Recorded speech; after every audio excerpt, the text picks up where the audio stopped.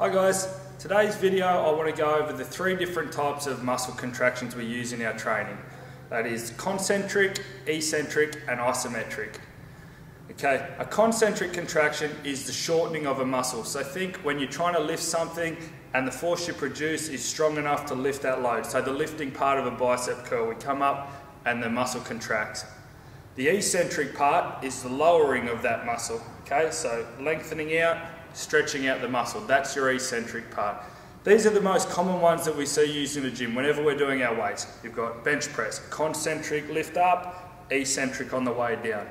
These are the most beneficial for building muscle and for building strength gains in the gym, but they're not the only contractions that can be used. There's also one called an isometric, okay?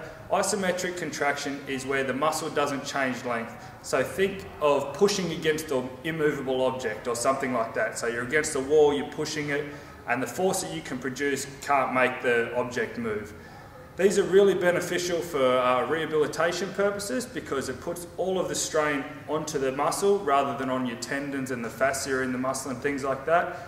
So, and they're also very beneficial for older people. You can do these right up until your 90s very, very safely.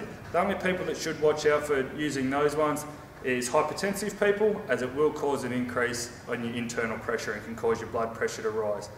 So the reason I wanted to go over these guys, later on when we get into the programming during the year, we'll be using all three of these different types of contractions and it's just important that you get the terminology right. So your concentric is the squeeze, the overcoming, okay, muscle contract, eccentric, the lengthening of the muscle, and isometric, where you're pushing against something that can't be moved. Thanks guys, I'll see you tomorrow.